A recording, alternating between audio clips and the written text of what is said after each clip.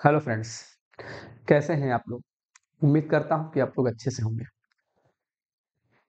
देख रहे हैं बोर्ड पे, स्पेलिंग करेक्शन के बारे में हम लोग बात करेंगे। स्पेलिंग करेक्शन एक ऐसा टॉपिक है, ये दूसरा लेक्चर है स्पेलिंग करेक्शन पर एक्चुअल में, और इसके पहले भी एक लेक्चर हो चुका है, आप अगर नहीं देखें तो उसको देख लीजिए। एक ऐसी टॉपिक जिसको लोग जो है हल्के में लेते हैं, लेकिन बार बार गलती करते हैं। चलिए देखते हैं। ऐसे ही कुछ स्पेलिंग जो एग्ज़ाम में बार बार दी गई है।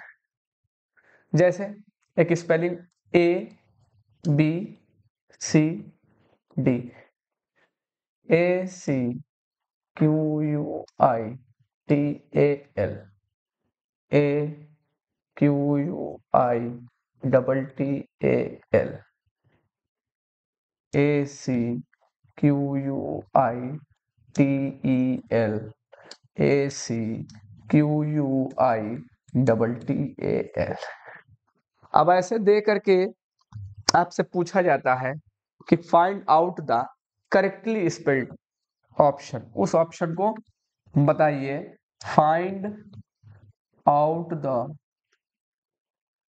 correctly spelled correctly spelled को बताना है। ठीक है? मतलब उसको बताओ जो करेक्टली स्पेल्ड ऑप्शन हो।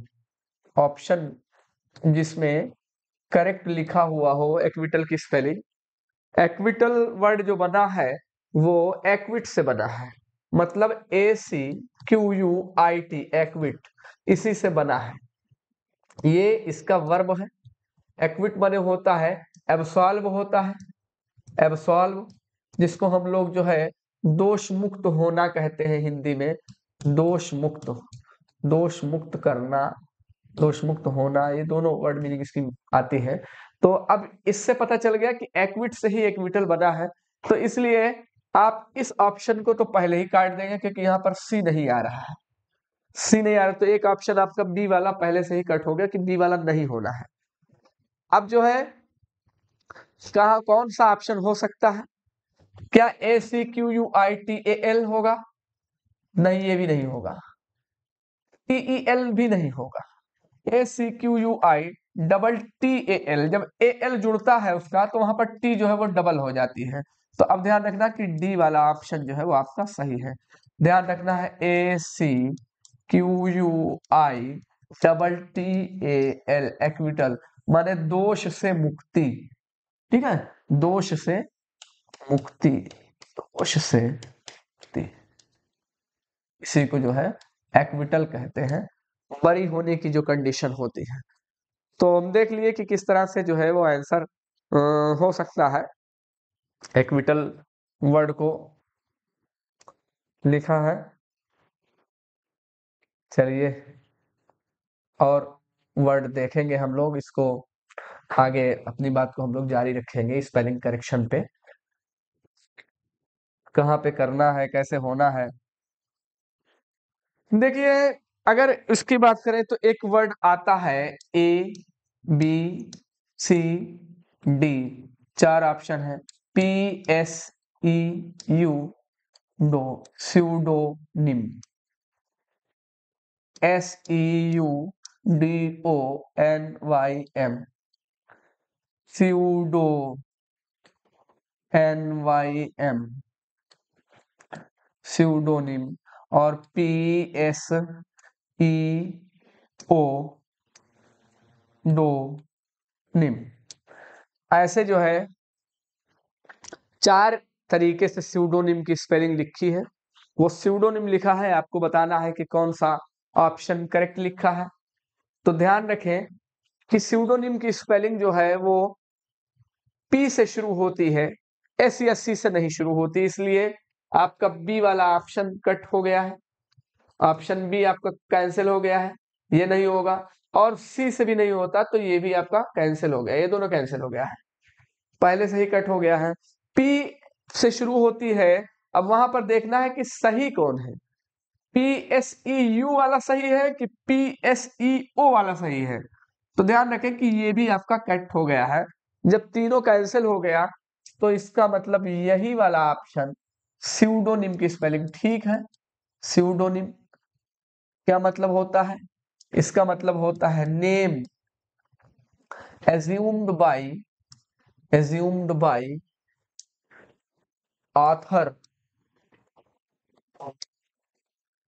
किसी ऑथर के द्वारा अपनी राइटिंग में फॉर राइटिंग राइटिंग के लिए जो नाम जो है एज्यूम करता है, मानता है राइटर उसको जो है वो क्या कहते हैं? सिउडोनिम कहते हैं। मतलब लेखन वाला नाम। देखिए, अगर कहीं पर सिउडो वर्ड ही खाली आता है P S E U D O ऐसे आता है तो इसका मतलब होता है फेक फेक होता है अनरियल होता है आर्टिफिशियल होता है ये सब मीनिंग इसकी होती है। तो चूँकि वो सही नाम उसका नहीं होता है, खाली वो मानता है, उसको खाली एज्यूम करता है, वो रियल उसका नाम नहीं होता है, इसलिए स्यूडो से वर्ड बना है। ठीक है?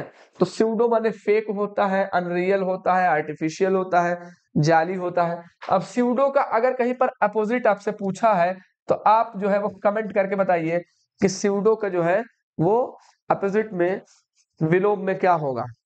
चलिए, ये आपके ऊपर है। कि आप उसको क्या बताएँगे?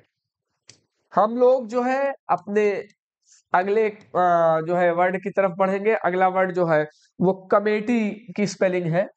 तो कमेटी की स्पेलिंग बहुत बार आई है। देखते हैं क्या है। C O M I double T double E. C O double M I T double E. C O double M I double T double E C O double M E double T double E ऐसे लिखा हुआ है और पूछा गया है कि कौन सा ऑप्शन ऐसा है जो सही है उसमें जिसमें स्पेलिंग ठीक हो। कॉमेटी की स्पेलिंग याद आ, होना चाहिए आपको क्योंकि ये स्पेलिंग पूछी गई है बहुत बार। C O M I double T double E नहीं होगा। कैठा ये पहले से ही। C O double M I T double E ये भी नहीं होता। ये भी कैंसिल हो गया। दो स्पेलिंग आपकी ऑलरेडी कैंसिल हो गई है। सी ओ डबल एम ई नहीं होता। इसलिए ये भी कट हो गया है। अब मिले या ना मिले आंसर तो होगा यही अब, क्योंकि हम जानते हैं कि जब चार ही ऑप्शन है तो कोई ना कोई ऑप्शन तो होएगा ही। जब तीन पहले से ही कट हो गया है तो जो है, अब होना है वही वाला ऑप्शन जो आपके सामने लिखा हुआ है। अब देखिए, एक वर्ड और यहाँ पर हम ऑप्शन आपको ए बी सी डी ऐसा चार ऑप्शन दे करके जो है मैं इसको जो है, आगे आपको कुछ और बातें बता दूँ। जैसे लिखा हो E X A G E R A T I O N E X